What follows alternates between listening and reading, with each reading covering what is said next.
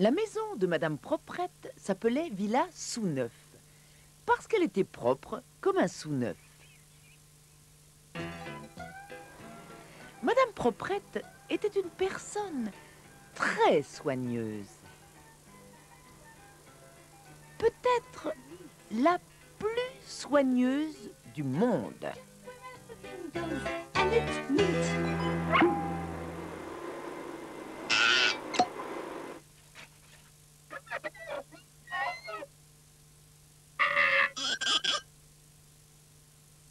Un matin, comme tous les matins, Madame Proprette se réveilla dans sa villa sous neuf. Elle se leva, regarda par la fenêtre.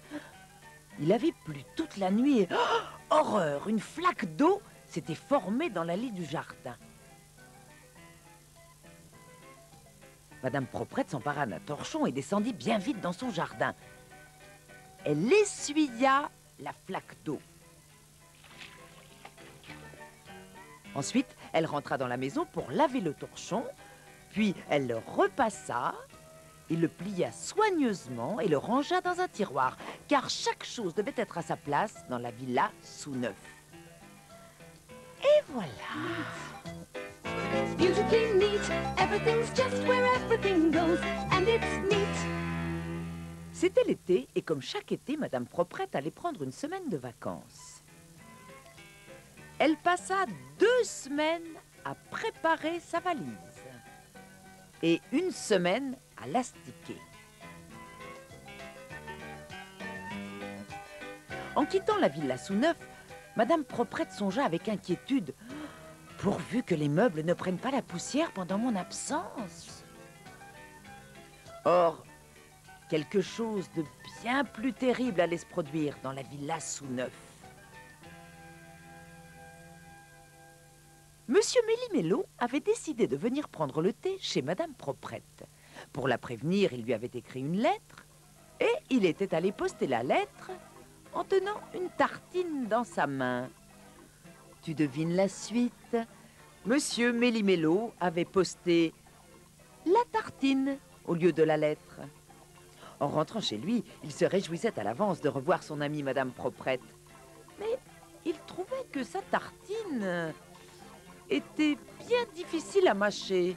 Forcément, il était en train de manger sa lettre.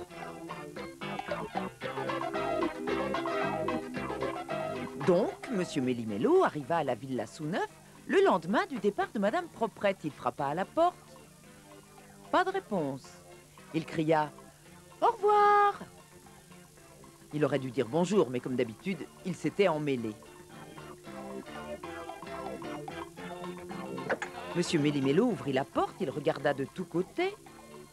Personne. Je vais faire le thé en attendant Madame Proprette, se dit-il.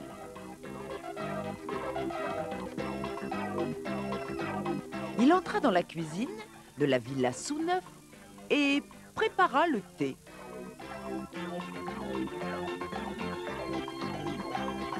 Hum, oh, je prendrais bien une autre tasse de thé. Hum. Bon, je me demande où est la théière. Euh, où peuvent bien être les cuillères? Oh. Puis il attendit, longtemps. Finalement, Monsieur Méli-Mélo rentra chez lui. Madame Proprette descendit du taxi, paya le chauffeur et soupira. Oh, j'ai passé de bonnes vacances, mais je suis bien contente de me retrouver chez moi. Madame Proprette ouvrit la porte de la villa sous neuf. Oh, il n'y a pas trop de poussière, dit-elle joyeusement. Madame Proprette décida de se faire une bonne tasse de thé avant de défaire sa valise. Mais après le passage de Monsieur Méli-Mélo, ça n'était pas facile de se faire une tasse de thé. Madame Proprette trouva la théière dans le réfrigérateur et le lait dans la théière et le thé dans le sucrier et le sucre dans le pot à lait, et les tasses dans le four, et les soucoupes dans la huche à pain. Et cependant, Madame Proprette ne trouva pas une seule petite cuillère. Madame Proprette cherchait ses petites cuillères quand le téléphone sonna, elle décrocha. Allô, dit-elle. À l'autre bout de la ligne, Monsieur Mélimélo s'aperçut qu'il tenait son téléphone à l'envers. Il le remit à l'endroit et s'écria Au revoir. Qui est à l'appareil? demanda Madame Proprette. C'est vous.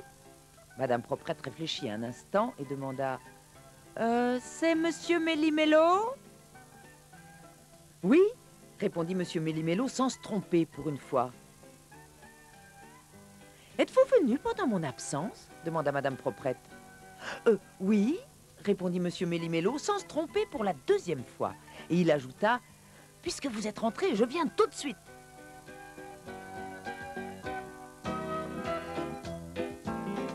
Je vous attends, dit Madame Proprette. J'arrive, j'arrive, dit Monsieur Méli-Mélo. Madame Proprette poussa un long soupir. Elle s'assit à côté du téléphone. Ouille Elle regarda sous le coussin du fauteuil. Toutes ses petites cuillères étaient là, et ses couteaux, et ses fourchettes. L'année prochaine, Madame Proprette ne partira pas en vacances sans fermer sa porte à clé.